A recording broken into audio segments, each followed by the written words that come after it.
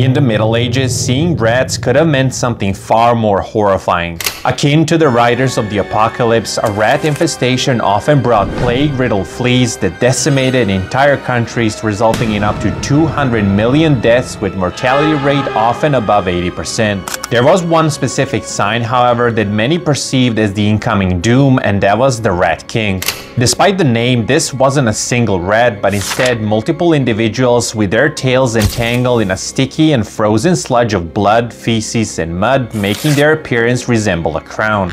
Since then, studies have shown that although very rare, this does happen when animals huddle together to share the warmth or when they're fighting. Now, due to the superstition, they were often targeted for immediate destruction, while in some cases, a ritual killing was performed in order to stave off suffering and decay that is brought by the Black Death. Although the spiritual side almost certainly didn't help, they were right in a sense that seeing a rat king phenomena probably meant that there is a rat overpopulation, which in turn increases the chances of plague outbreak.